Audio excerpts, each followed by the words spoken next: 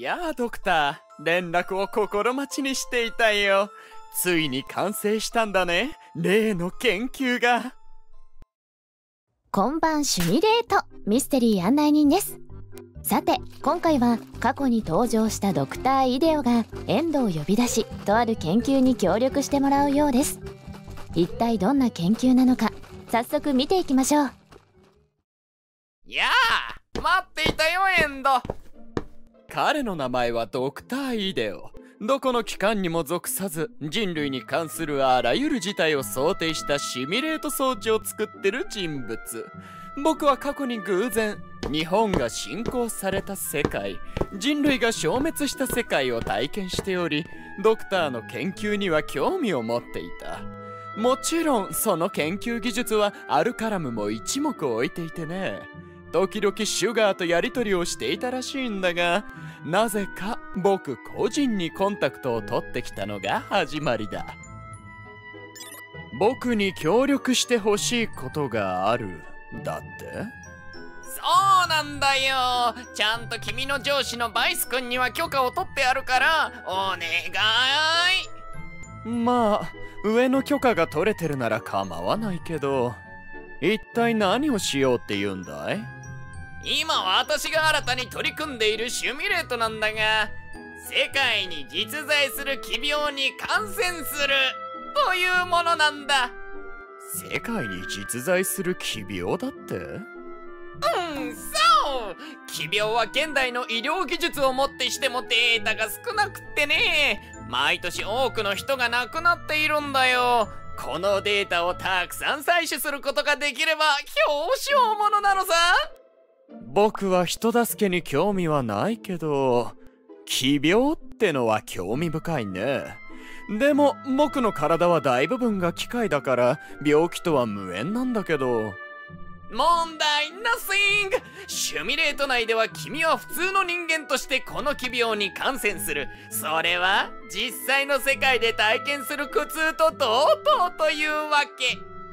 でもそれなら僕以外にも被験者候補はいくらでもいただろう？いやーだって実際死ぬほど辛い思いをするわけだからさ。鋼メンタルでなおかつ痛みに耐性がないとシュミレート内で発狂しちゃうかもしれないのよね。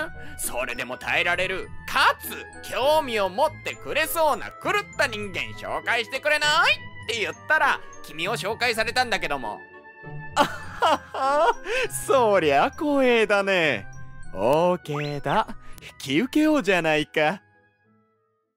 というわけでドクターの奇病感染シミュレート装置が完成したから今日はこうして呼び出されたというわけだ。これが装置だ。OK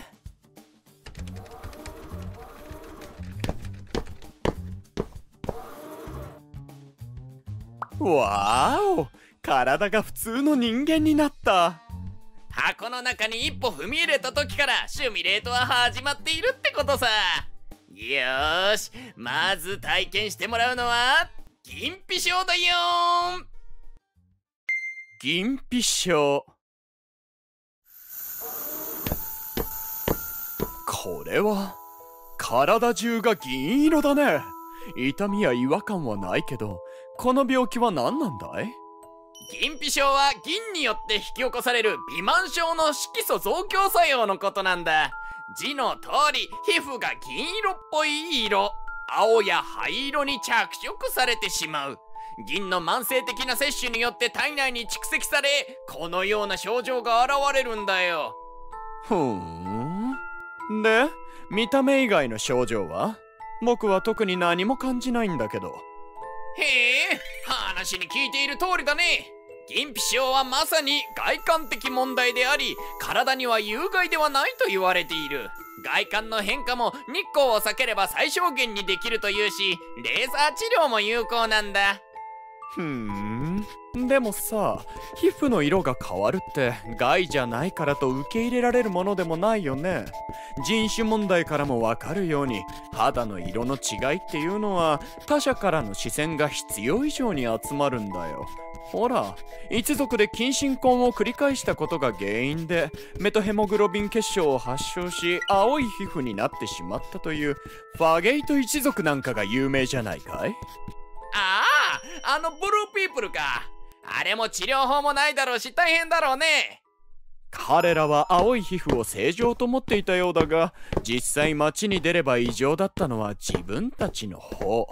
結局最後まで普通の人間と馴染むことはできなかった。それと同様でこれまで周りの人間とそう変わらない皮膚の色をしていた人間にとっては死活問題だろうね。かに人の目を気にして社会的な生活ができなくなり精神的に衰弱してしまうことも考えられる。皮膚の著しい変化のせいで銀は有毒だったんだと強く思い込み他の病気を誘発しかねない。広く知られた病気ではないから周りからの理解もなかなか得られないだろうな。さっき銀の摂取によって引き起こされると言っていたけれど例えばどんなものが原因になりうるんだい？皮膚の変色が全身に現れる原因としては口内炎治療薬胃薬アラザンなどの長期摂取局所的な変化が現れる原因としては硝酸銀液湿布やうがい薬ね歯科金属の長期使用金星縫合紙による埋没針療法などが挙げられるようだ。用量用法を守れば問題ないものがほとんどだが使用の際は気をつけたいものだね。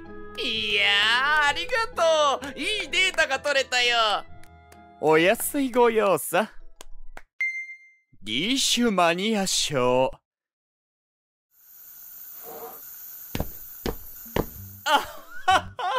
こりゃすごい。皮膚が溶けてる。一体何の奇病なんだい？これはリーシュマニア症さ熱帯や亜熱帯地方などで見られる人獣共通感染症なんだけどね。殺傷梅類によって媒介されるもので刺された原虫によって症状に差が出てくるんだよ。ちなみに今エンド君が発症しているのは内臓リーシュマニア症ではなく皮膚リーシュマニア症だね。皮膚が一部溶けたような状態になってしまうんだ。僕は問題ないけどなかなかの激痛だと思うよ。皮膚が溶けるっていうのも衝撃的だし恐ろしい病気だね。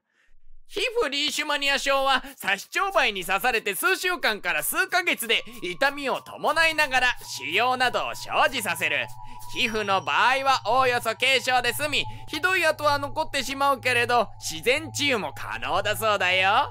ただ皮膚から粘膜に転移した時は目も当てられないほどに転移箇所は溶けただれ死に至ることも少なくないんだ。ちなみに治療法はあるのかい？割と最近になって経口投与が可能なミルテホシンという薬で治癒できることが分かった。他にもいくつか薬があるが HIV や結核などと重複感染した場合は効果がないこともあるらしい。ただね残念ながらワクチンは未だ存在しない開発は進められているようなんだけれどね。このデータを医療機関に提出しておこう。本来なら実際の人間に感染させて血液データとかを採取した方がいいんだけど今回は公的機関に研究結果を出さなきゃだからそういうブラックなことはご法度なんだってさ。つまんないよね。つまんないってところには同感だよ。今の人類があるのはそういうブラックな人体実験の賜物だっていうのにね。それそれ。君とは話が合いそうだ。そういえば内臓リーシュマニア症もあるって言っていたよね。そっちはどんな症状なんだい？いやー実は皮膚よりも厄介なんだよね。内臓リーシュマニア症は感染してから数ヶ月後から数年で症状が現れ始める発熱肝臓や脾臓の肥大貧血などが見られ皮膚の時のように自然治癒することはない。放置していれば死に至るんだ。内臓のことだから病院に行かないと詳しいことはわからないし確かに厄介そうだね。犬の媒介性疾患としても注目されている感染症でもあるんだよ。世界約88カ国で流行しているこの感染症なんだけどこれ以上広がらないことを願うばかりだね。それじゃあ次に行こう。多毛症。ああ前が全く見えないんだけどこれは警戒？イエース！次の奇病は多毛症だ。エンド君のように全身に毛が生えるもの。局所的に毛が生えるもの先天性後天性と人によって症状の現れ方が様々なんだ。毛がこんなに重たいものだとは知らなかったね。動きにくいし喋りにくいし。ちょっと鏡見せてくれるかい？おおいいよいいよ。わおまるで妖怪だね。先天性のものは遺伝子の変異で起きるんだろうけど後天性はどんな原因なんだい？薬物の副作用悪性腫瘍接触障害によるものなどだ。多毛症はほとんどが後天性らしい。昔はこの奇病を患っていた人が狼男だと呼ばれ見せ物小屋で働いていたこともあるそうだよ。ああ確かに精進症とかも昔は原因不明だけど体は健康という人はそういう小屋で働いたんだっけ？確かに。見た目のインパクトはすごいけど今は脱毛処理を施すことで症状の軽減ができるから命に関わる感染症に比べればまだマシかな。いやいやそうとも言えないよ。毛が多いと汗もかくし皮膚炎を引き起こすこともあるし何より自己処理が大変さ。でも処理しないと鬱陶しいしとにかく面倒だと思うよ。つるっぱげの人からすれば羨ましいかもしれないけど。あとそれから脱毛サロンは大儲けかもしれないね。だってこんな風に自己処理なんてしようもんなら。うんこりゃダメだ。予想通り毛が多すぎて歯がすぐダメになるね。それにこれだけ毛が多いと素人処理じゃ肌もかなり荒れるし医療脱毛とかプロに任せるのが一番良さそうだ。ちなみに今体調に変化はあるかい？とにかく重い。あと暑い。とにかく暑い。全身毛むくじゃらの動物っていうのはそれで体温を調節しているからいいんだろうけど人間からすればダメだね。これで夏場過ごせなんて言われたら命に関わるよ。ああそっかそっか。そりゃそうだよねこれで真夏のインドなんかに放り出されたら死んじゃうか。意外と怖い病気だったのかも。それにしても世界にはまだまだ知らないことがたくさんあるんだね。非常に有意義な時間だよ。こんな奇て烈なことを喜ぶ人間が本当にいるなんて驚き桃の木三者の木だね。それ多分死後ってやつじゃない？そうなの？研究所にこもって人と話さないとこうなるのかピエン。もういいから早く次に行こうじゃないか。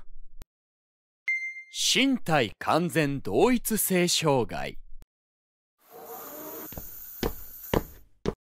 次は身体完全同一性障害だ。これは外見的には変化がないけど普通でいることが本人にとって何よりも耐え難いことになるという奇病なんだ。さーてエンド君にはどんな症状が出るかな？タイえ？今すぐにこの右腕を切り落としたい。僕に右腕は必要ない。これさえなくなれば完全体になれるのに。聞いた通りだねそう。この病気は体の一部を切断してしまいたい。または視力や聴力を失ってしまいたいと強く願うようになってしまうという恐ろしいものなんだよ。実際の体の状況と本人の理想の状況が違うため激しいストレスがかかり最悪の場合自ら切断するなどの行動に出かねない。エンド君は今自分にとって右腕が邪魔だと思い込んでしまっているんだ。原因は未だ解明されておらず右頭腸葉の機能不全のせいだという話もあるけど今回はこの状態で脳波を取らせてもらうね。えー、こんな感情は初めてだよ。脳障害系っていうのは僕も納得だ。こんなの通常の精神状態じゃない。くそ。こんな気分は初めてだ。この病気を患うことは想像以上に辛いことだと思うよ。VR などで患者が必要ないと思った体の一部を欠損させたイメージを見せたり加工して本人にとって理想となった体の写真を持ち歩かせたり。ほとんど実例はないらしいけど精神に異常をきたすほどの欲求の場合は手術で患者の理想通りにするって話もあるし。何をごちゃごちゃ言っているんだい。僕ならいとも簡単に切断することくらい可能だ。もういい。自分でやる。えちょちょちょちょちょちょステイ stay stay シュミレート内でも君ならやりかねなさそうだねちょちょちょっと一旦リセットドクターがそう言うともう一度箱の中に煙が充満して僕の意識が一瞬途絶えるすると、うあ、うん、すまない。柄にもなく取り乱してしまったよ。そういう病気だからいいんだよ実際右腕は必要ないという欲求を抱いてどうだった？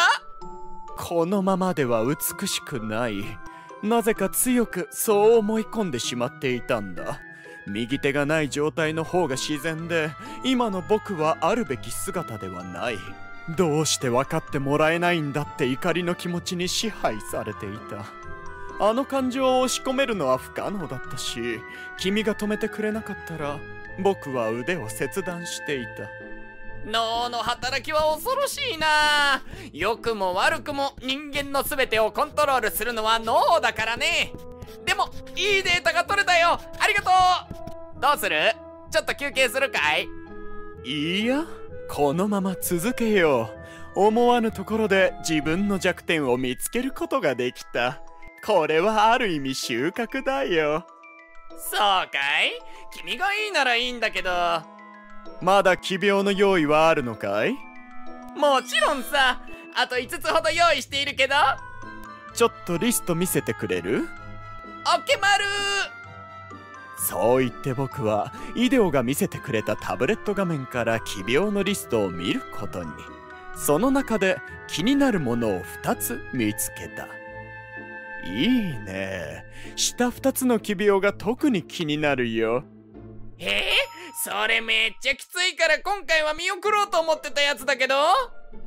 どうせなら忘れられない衝撃的かつ刺激的なやつが体験したいのさ。ぜひ頼むよ。うわあ世の中にはいろんな人がいるもんだな。じゃあまあそう言うならお言葉に甘えてやらせてもらおうかな。早漏症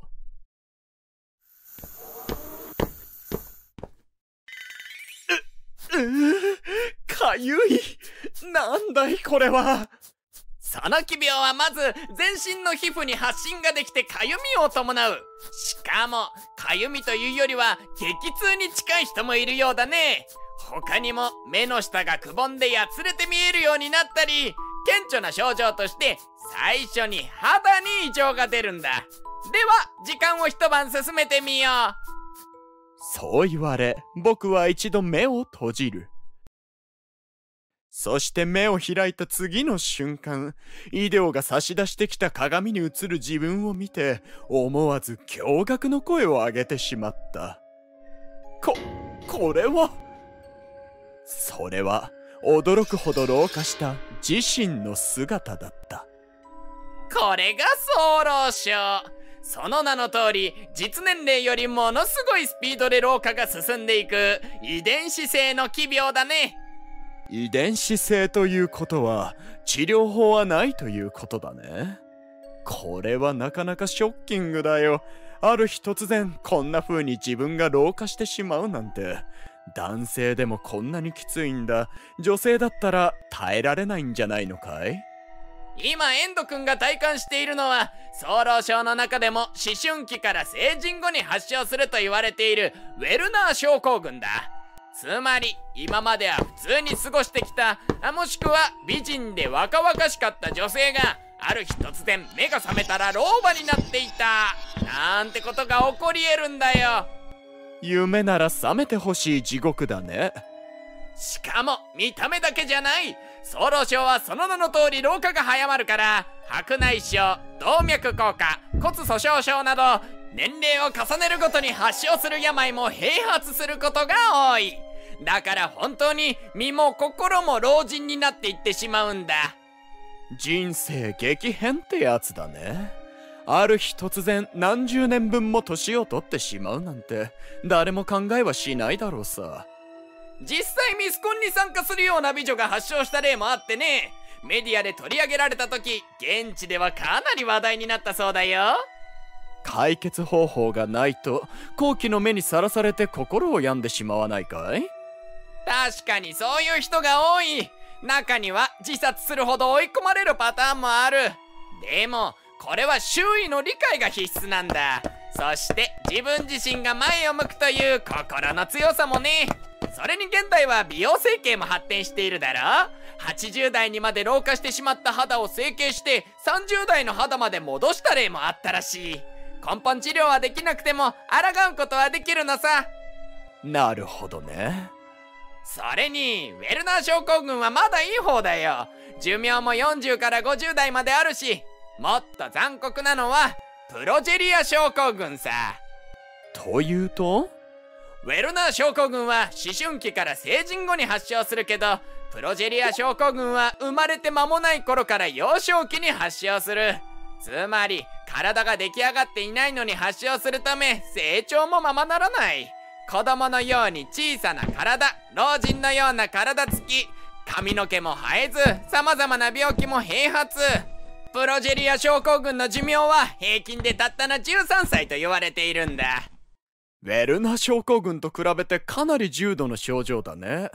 でも僕は逆にプロジェリア症候群の方が最初から症状が分かっている分受け入れるのはたやすいような気がするよ。なぜなら最初からそうなんだから。もしかしたら自分がウェルナー症候群の可能性があると思うとゾッとするよ。確かに捉え方次第だね。黄門金融解消。ではラスト行ってみようか。僕的にはこれが一番嫌なんだけどね。あはは。ラストを飾るにはぴったりじゃないか。さあ頼むよ。